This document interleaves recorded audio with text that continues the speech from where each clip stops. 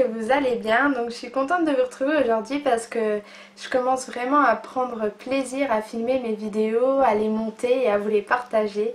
Donc euh, pour aujourd'hui j'ai décidé de vous faire une petite vidéo spéciale coiffure et plus précisément sur les tresses.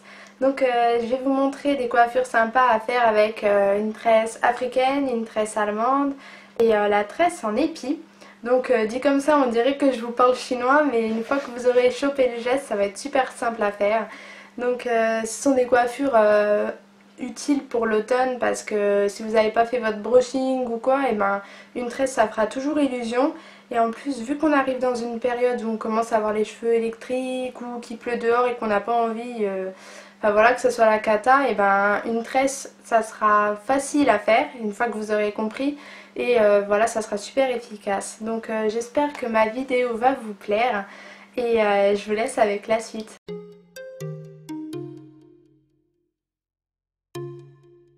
Avant de commencer mes coiffures, je vais utiliser mon huile sèche. Donc la mienne, c'est la glisse de chez Schwarzkopf. Je vais en mettre une noisette dans ma main. Et ensuite, je vais en mettre sur les longueurs et les pointes de mes cheveux. Ça va les rendre plus soyeux et plus faciles à coiffer par la suite.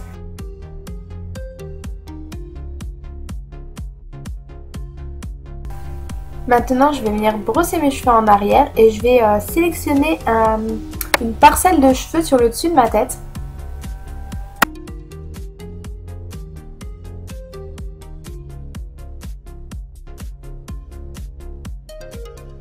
Et je la sépare en trois mèches de cheveux.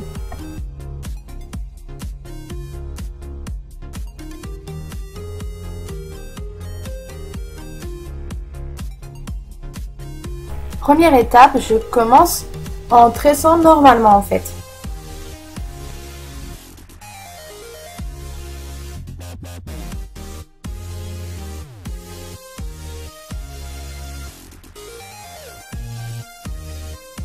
C'est là que va commencer la tresse africaine. Donc on prend la mèche extérieure, ici c'est la mèche de gauche, et on va venir y rajouter un morceau de cheveux. Et on va passer au-dessus de la mèche du milieu comme si on faisait une tresse normale. On fait la même chose de l'autre côté, donc avec la mèche de droite. On y rajoute un morceau de cheveux et on passe au-dessus de la mèche du milieu comme une tresse normale.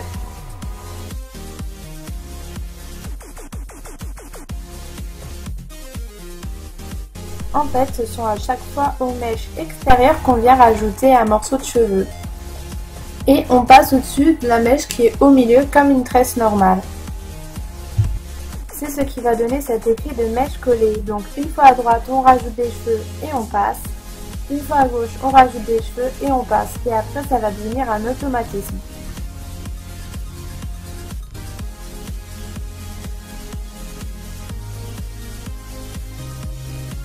Moi je vous le fais en accéléré mais le geste reste le même. Je vous le montre en grosse tresse derrière mais vous pouvez le faire en mini tresse ou en tresse sur le côté, c'est super joli aussi. Une fois que l'on n'a plus de cheveux à rajouter, on finit avec une tresse normale tout simplement et on attache avec un mini élastique.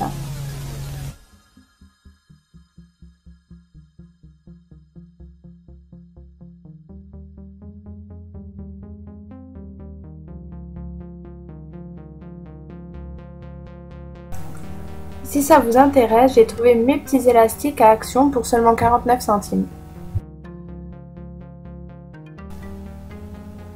J'avais envie de donner un peu plus de volume sur le dessus de ma tête, donc j'ai simplement tiré sur mes mèches de cheveux.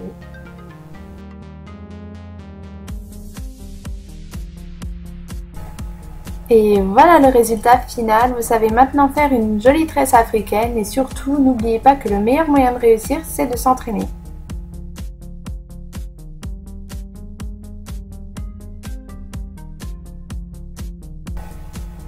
Maintenant que vous avez compris comment faire la tresse africaine, on va s'attaquer à autre chose, donc c'est la tresse allemande.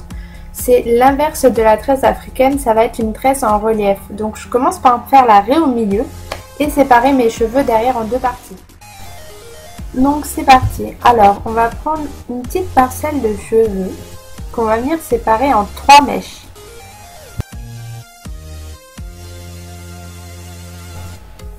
Ici, c'est le même principe que la tresse normale, sauf qu'on va venir tresser par en dessous.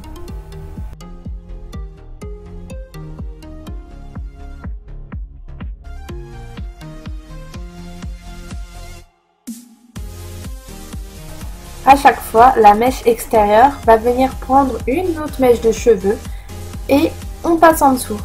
Donc on rajoute une mèche à la mèche extérieure et on passe en dessous.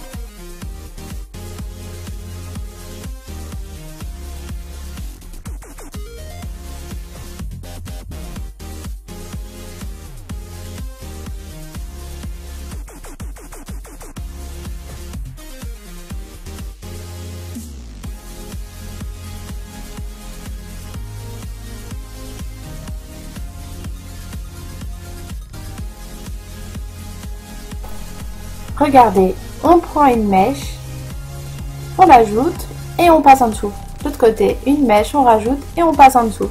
Et une fois qu'on a plus de cheveux à rajouter, on continue en tresse normale.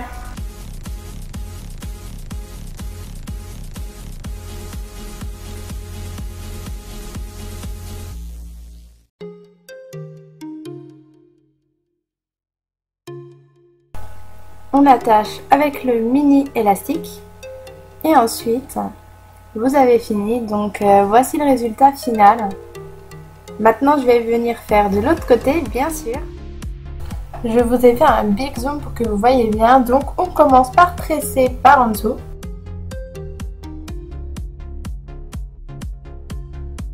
Et comme tout à l'heure, je prends la mèche extérieure et je vais venir y rajouter un morceau de cheveux. Et je passe en dessous. Pareil avec de l'autre côté. On prend la mèche extérieure, on y rajoute une mèche de cheveux et on tresse par en dessous, c'est-à-dire qu'on passe en dessous de la mèche qui est au milieu.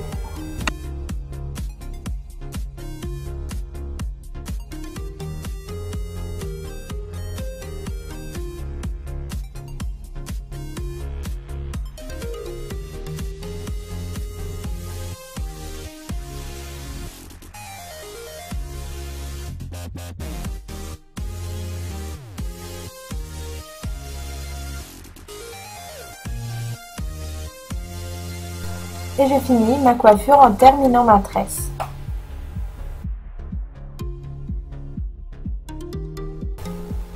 Voilà, j'ai fini mes deux tresses allemandes, donc euh, vous pouvez les laisser comme ça, ou alors continuer comme je vais le faire.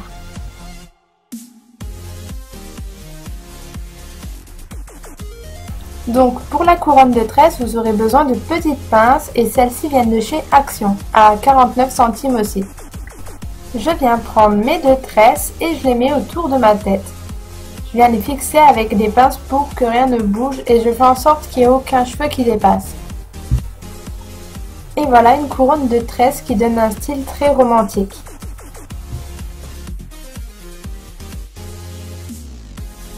Pour la dernière coiffure, je commence par me faire la raie sous le côté et je ramène mes cheveux sur un côté. Maintenant, je vais venir séparer mes cheveux en deux parties et ce que je vais faire, c'est que je vais prendre un petit morceau de cheveux de la partie droite que je vais mettre dans la partie gauche et inversement, un petit morceau de la partie gauche que je vais venir mettre dans la partie droite. J'ai avancé un petit peu pour que vous voyez mieux, donc regardez, je prends un petit bout de cheveux de, ma partie gauche que je mets dans ma partie droite et un petit bout de cheveux de ma partie droite que je mets dans la partie gauche. Donc pour vous, euh, ça donne l'inverse.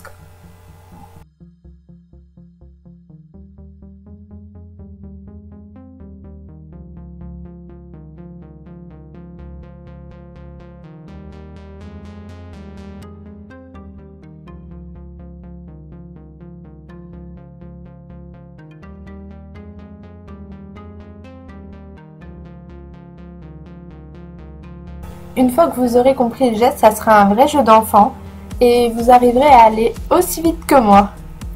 Non bon, j'avoue, j'ai avancé la vidéo, j'ai triché.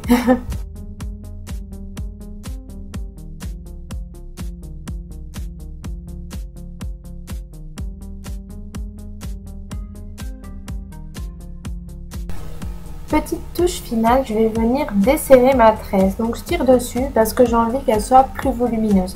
Je trouve que ça fait beaucoup plus joli. Je viens attacher les petits cheveux qui m'embêtent avec des pinces et ma coiffure est finie.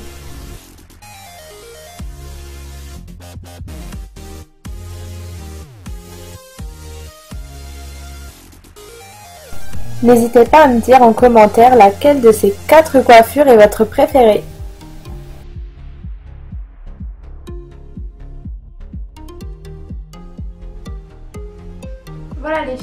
Est maintenant terminée. J'espère qu'elle vous a plu et qu'elle aura pu vous être utile pour apprendre plein de tresses et les coiffures. Donc euh, si vous faites une de mes coiffures, n'hésitez pas à prendre en photo et à mettre sur Instagram parce que j'y suis souvent et à mettre euh, le hashtag tuto DTM comme ça je pourrai les retrouver et puis les voir. Et euh, faites la même chose avec le vernis, si vous le reproduisez, mettez le hashtag comme ça je pourrai voir vos photos. Bon, je vous dis à bientôt que j'ai encore plein d'idées de vidéos dans la tête. Et